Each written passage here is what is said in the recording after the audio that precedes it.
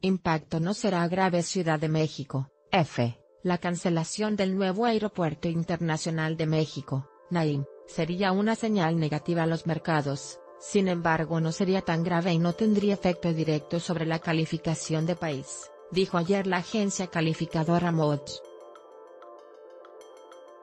La cancelación del aeropuerto y su peso relativo sobre las finanzas públicas no es tan grave, no tendrá un efecto directo sobre la calificación soberana de México, sería una señal negativa, una bandera amarilla, afirmó Jaime Reusche, analista de la firma. Al participar en la Cumbre México 2018, Perspectivas Crediticias durante el gobierno de Andrés Manuel López Obrador en Ciudad de México, señaló que la cancelación sería una mala señal del Estado de Derecho, de que no se estarían respetando los contratos. Jaime Reusche dijo que se afectarían los indicadores de gobernabilidad, mismos que el gobierno de México que encabezará Andrés Manuel López Obrador tiene el compromiso de mejorarlos.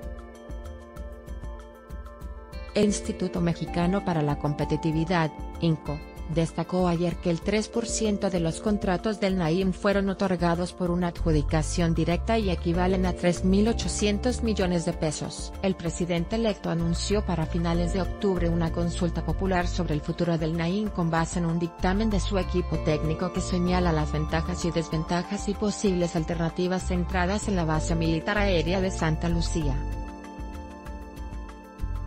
La construcción del Naim presenta a la fecha un avance de 32% y de acuerdo a las estimaciones se han gastado 100 mil millones de pesos.